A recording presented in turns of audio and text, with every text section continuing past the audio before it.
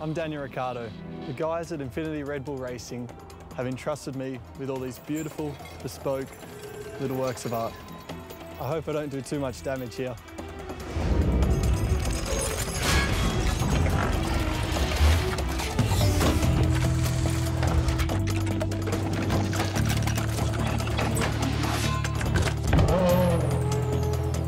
Feels good. Can't wait to see what this new car's capable of.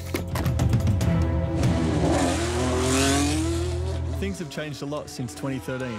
The technical regulations are very different for this season. Let's compare the new and the old car.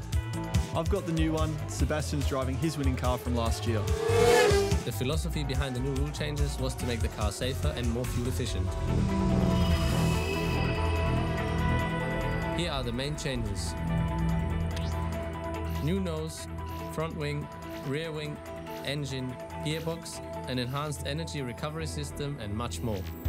The amount of fuel used in the race has been restricted. We now have 30% less in the tank.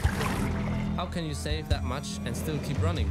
First of all, we get one extra gear, eight instead of seven.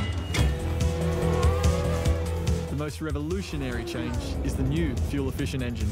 Much higher pressure fuel injection for more complete and efficient fuel burning, two cylinders less, V6 instead of V8. There's a rev limit of 15,000 RPM, but the turbo is back, and with the turbo, the turbo sound. The energy recovery system has been enhanced. The new ERS now has two motor generator units. The new one is powered by the flow of hot exhaust gases. The other one still uses brake energy from the rear wheels. It's a lot more powerful now. The battery pack now stores 10 times the amount of energy. That's enough for 33 seconds per lap rather than 6.6 as before, and a double boost of 160 horsepower. Therefore, more torque, which means it's tougher to control getting on the power. So we can expect lots more battles. The outside and the aerodynamics have also changed quite a lot. Our feet move down because the nose comes down for safety reasons. The front wing is narrower, downforce is reduced significantly. The blown diffuser is gone, as well as the beam wing. The rear has to be supported. The main flap is flatter and opens up further. DRS attacks can now be more aggressive. The new power units have to last longer too.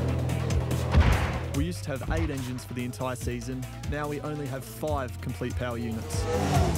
Shall we give the first engine a tickle? Heck yeah!